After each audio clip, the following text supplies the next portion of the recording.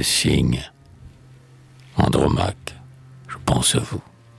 Ce petit fleuve, pauvre et triste miroir où jadis resplendit l'immense majesté de vos douleurs de veuve, ce Simoïs menteur qui par vos pleurs grandit, a fécondé soudain ma mémoire fertile, comme je traversais le nouveau carrousel. Le vieux Paris n'est plus.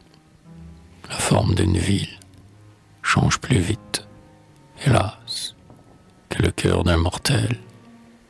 Je ne vois qu'en esprit tout ce camp de baraques, ces tas de chapiteaux ébauchés et de fûts, les herbes, les gros blocs verdis par l'eau des flaques, et, brillant au carreau, le bric-à-brac confus. Là s'étalait jadis une ménagerie. Là j'ai vis, un matin, à l'heure où sous les cieux, phrases éclairent le travail s'éveille, où la voirie pousse un sombre ouragan dans l'air silencieux, un signe qui s'était évadé de sa cage, et, ses pieds palmés frottant le pavé sec, sur le sol raboteux traînait son blanc plumage.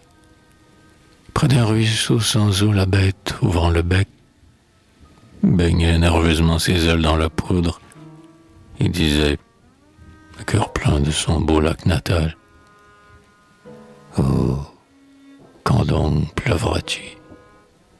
Quand entendras-tu foudre. Je vois ce malheureux, mythe étrange et fatal, vers le ciel quelquefois, comme l'homme de vide, vers le ciel ironique et cruellement bleu, son sonco convulsif tendant sa tête à vide, comme s'il adressait des reproches à Dieu. Paris change, mais rien dans ma mélancolie n'a bougé. Le neuf, échafaudage, bloc, vieux faubourg, tout pour moi devient allégorie, et mes chers souvenirs sont plus lourds que des rocs. Aussi devant ce Louvre, une image m'opprime. Je pense à mon grand signe, avec ses gestes fous, comme les exilés, ridicules et sublimes et rongé d'un désir sans trêve. Et puis à vous, Andromaque, des bras d'un grand époux tombé, ville bétail, sous la main du superbe Pyrrhus, auprès des tombeaux vides en extase courbée, veuve d'Hector, Mélas et femme d'Hélénus. Je pense à la négresse, à mes griffes tisiques, pitinant dans la boue, et cherchant l'œil hagard, les cocotiers absents de la superbe Afrique, derrière la muraille immense du brouillard. Quiconque a perdu ce qui ne se retrouve jamais, jamais. À ceux qui s'abreuvent de pleurs et têtent la douleur comme une bonne louve, aux maigres orphelins séchant comme des fleurs.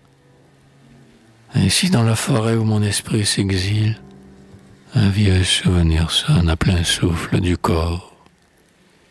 Je pense aux matelots oubliés dans une île, aux captifs, aux vaincus, à bien d'autres encore.